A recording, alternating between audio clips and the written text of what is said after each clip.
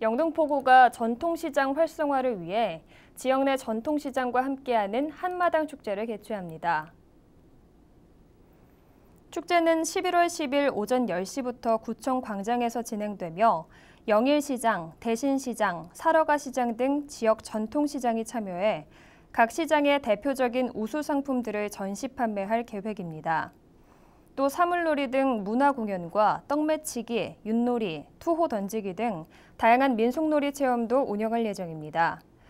프랑스 크레페, 퓨전 터키 음식, 에콰도르 끝 꼬치, 족발, 닭강정 등 동양과 서양의 다양한 먹거리들을 맛보고 구매할 수 있는 먹거리 장터도 운영해 행사의 다채로움을 더할 계획입니다.